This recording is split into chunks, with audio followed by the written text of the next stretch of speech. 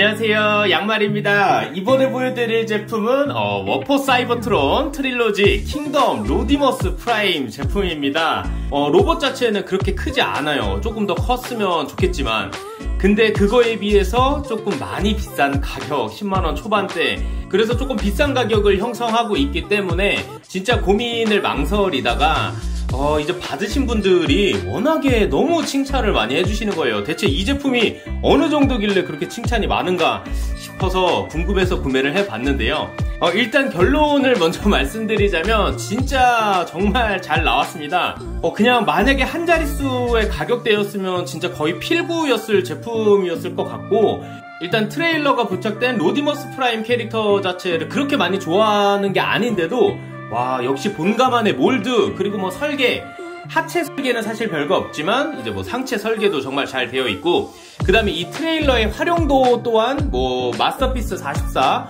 옵티머스 프라임 정도의 급은 아니지만 뭐 이제 loose 같은 것도 수납이 가능하고요. 어 그래서 저는 지금 매우 만족하는 그런 제품인 것 같습니다. 물론 부족한 부분들도 있어요.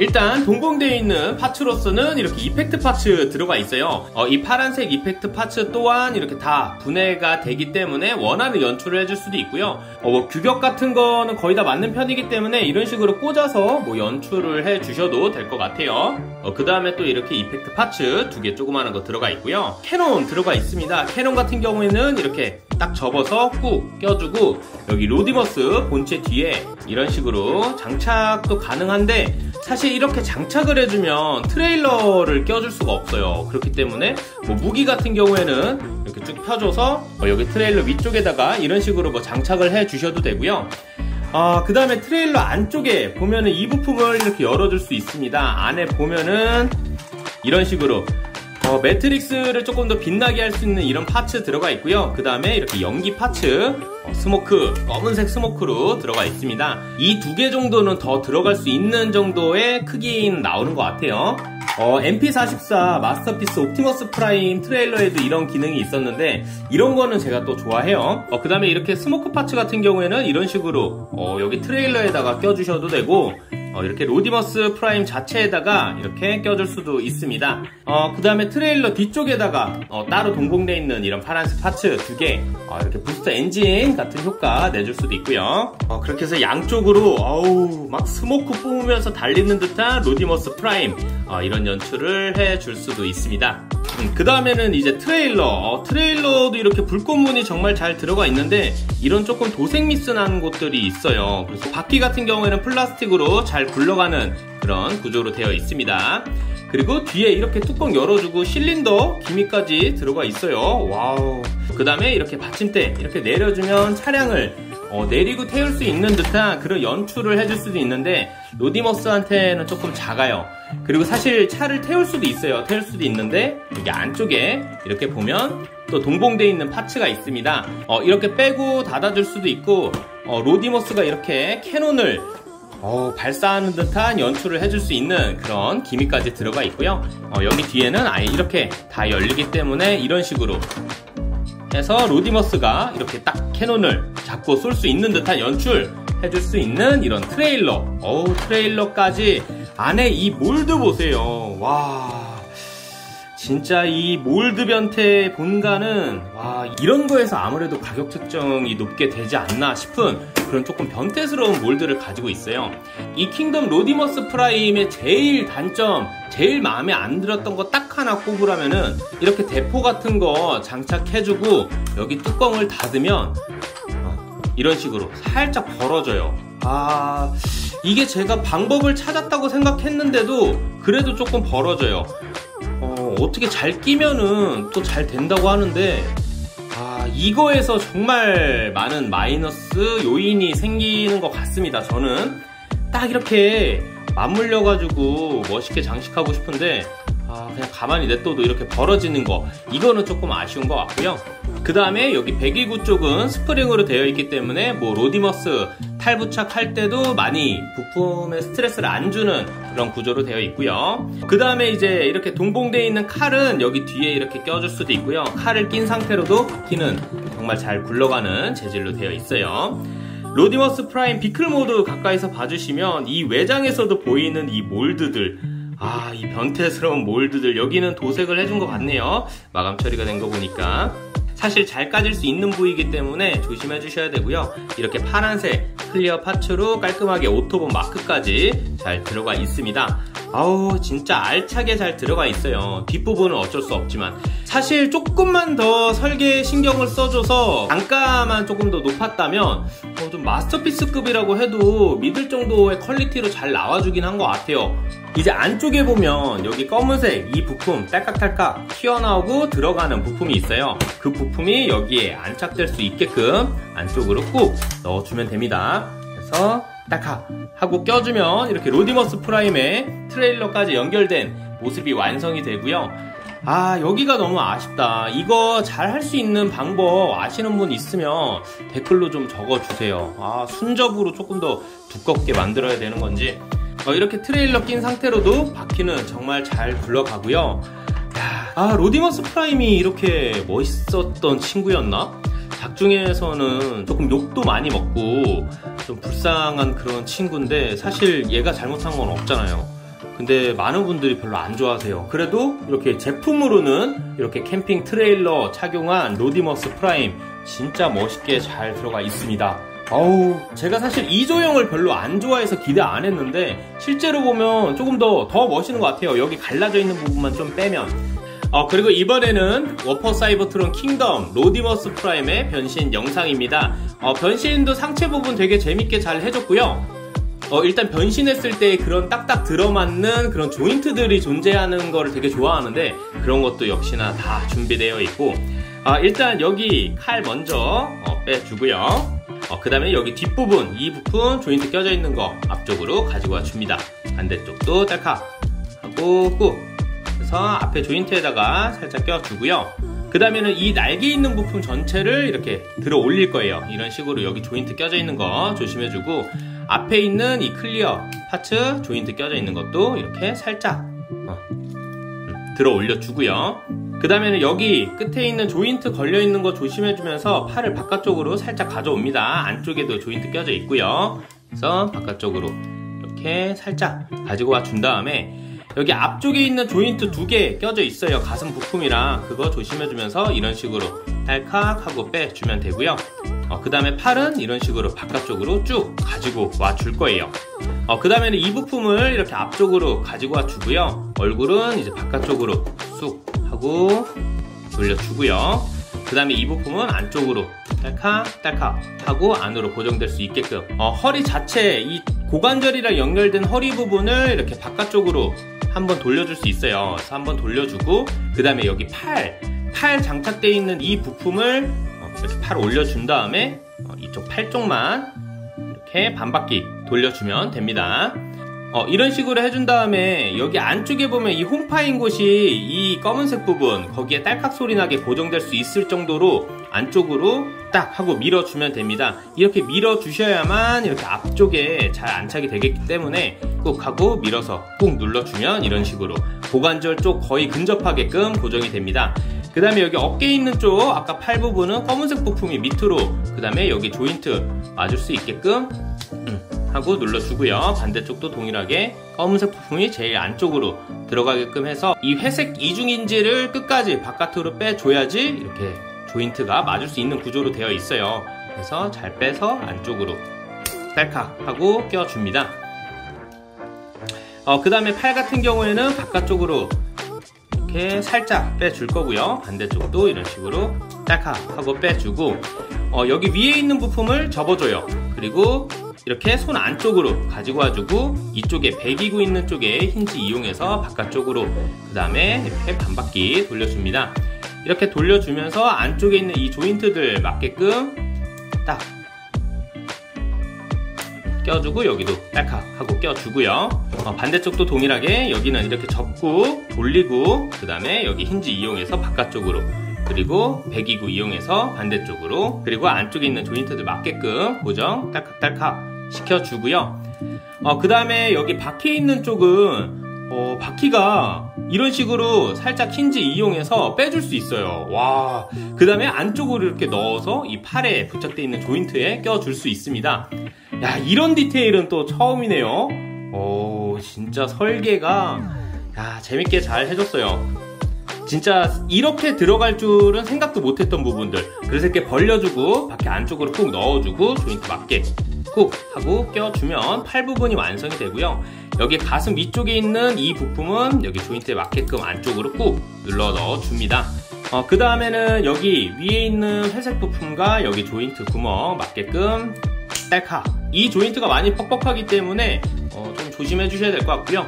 여기도 반바퀴 이렇게 돌려서 이쪽에 있는 조인트가 여기 구멍에 맞게끔 방향 맞춰서 꾹 하고 눌러 넣어줍니다. 그리고 이렇게 안착 되게끔 잘 해준 다음에 손가락은 뭐 원하시는 방향으로 넣어주고요. 어, 그 다음에는 이제 다리.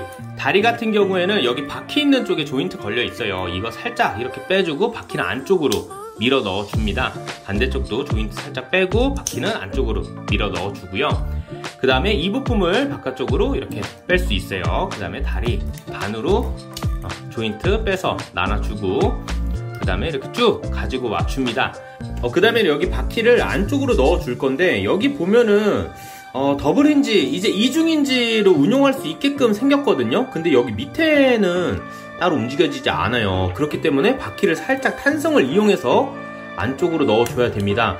플라스틱은 조금 튼튼한 편이기 때문에 괜찮은 것 같지만 그래도 언젠간 좀 스트레스를 받겠죠 어, 그 다음에 여기 앞쪽에 있는 조인트가 이런 식으로 딸칵 하고 껴질 수 있게 그리고 발바닥 앞으로 쭉 뻗어주고요. 반대쪽도 동일하게 어, 종아리 부품을 바깥쪽으로 이렇게 쭉 빼주고 음, 바퀴는 저기 빈 공간 안쪽으로 살짝 탄성 이용해서 넣어주고 조인트 맞게 딸칵 그리고 발바닥 이렇게 펴주고요. 어, 그래서 이렇게 해주시면은 War For Cybertron Kingdom 로디머스 프라임의 로봇 모드 변신이 완성이 됩니다. 아 일단 진짜 변신도 상체는 저는 정말 재밌게 했어요. 그리고 크기는 조금 작아서 아쉽지만 아, 이 근엄하고 매트릭스를 빨아가지고 조금 삭은 듯한 이 중후한 얼굴 정말 잘 표현해줬고요. 어, 일단 이 제품 가까이서 봐주시면은 와 이렇게 중후하고 살짝 팔자주름이 짙어진 근심 걱정이 많아진 로디머스 프라임의 얼굴 정말 잘 들어가 있습니다. 야, 이 가슴 앞부분이 그대로 내려오는 것도 정말 잘 설계를 해줬고요. 그 다음에 이 바퀴. 아, 진짜 이 바퀴는 좀 신박했어요. 얘네가 이렇게도 해줄 수는 있긴 있구나. 어, 그 다음에 이런 팔뚝부터 시작해서 이 몰드들 공간은 이 몰드 보는 맛에 진짜 심심한 그런 기분이 들지 않고요. 이런 종아리도 도색으로 깔끔하게 들어가 있고요. 어, 사출이 아닌 것 같아요. 그 다음에 아 여기 접합선 부분은 좀 아쉽지만 다른 몰드들로 인해서 잘 보이지 않는 야 진짜 죽인다. 아, 발바닥도 이렇게 잘 들어가 있고 옆모습도 등짐 없이 멋있게 잘 들어가 있습니다. 등판도 이렇게 멋진 날개 쫙 펼쳐주면서 이런 몰드까지 아 종아리가 조금 두꺼워지는 그런 조형은 있네요. 어, 그래서 이 Kingdom 로디머스 프라임의 가동성 같은 경우에는 얼굴은 이렇게 360도 돌아가는 구조인데 여기 턱 부품 때문에 조금 도색 까지는 거 조심해 주시고요. 그리고 옆으로 깠다. 어, 좌우 이렇게 깠다 깠다. 그리고 앞으로 숙이는 것도 살짝은 가능합니다. 그 다음에 이렇게 위에 쳐다보는 것도 이 정도 가능해지고요. 그 다음에 어깨 같은 경우에는 이렇게 거의 일직선 가까이 올려줄 수 있어요. 그 다음에 어깨는 이렇게 살짝살짝씩 움직여지는 그런 관절 가지고 있고요. 그리고 여기 뒤에 날개만 없으면 360도인데 날개 때문에 이런 식으로 어깨 회전 관절 그 다음에 팔꿈치는 어, 이중관절 들어가 있습니다. 그렇기 때문에 거의 다 접히는 관절 가지고 있고 그리고 여기 팔꿈치 있는 쪽에서 이런 식으로 어, 돌아가는 관절 가지고 있어요. 어, 그 다음에 손목 같은 경우에는 어, 이런 식으로 여기 부품에 살짝 걸리기 때문에 뭐 완벽하게 360도는 조금 힘들 것 같고요. 그 다음에 손목은 안쪽으로 이렇게 숙여줄 수 있는 관절 가지고 있습니다. 어, 그 다음에 손가락은 여기 끝에 3개는 벙어리 한번 접히고요. 그 다음에 검지 손가락은 이렇게 이중으로 어, 완전히 접어줄 수 있고 엄지는 따로 가동이 없어요. 그 다음에 허리는 이렇게 360도는 안 돌아가는 구조지만 이렇게 돌아가는 구조 가지고 있고요. 그 다음에 고관절 같은 경우에는 이렇게 아예 통째로 올려줄 수 있는 전체적인 관절이 뻑뻑하기 때문에 어, 되게 찰랑거리는 관절은 없는 것 같아요. 그리고 뒤로는 살짝 어, 빼줄 수 있습니다. 그리고 옆으로 스커트 올려주고 여기 도색 까지는 거 조심해주고 이런 식으로 살짝 올려줄 수 있고요 그 다음에 고관절 이렇게 회전 관절도 가지고 있어요 어, 그리고 무릎 같은 경우에는 이런 식으로 이중 관절 거의 다 접을 수 있는 관절 가지고 있습니다.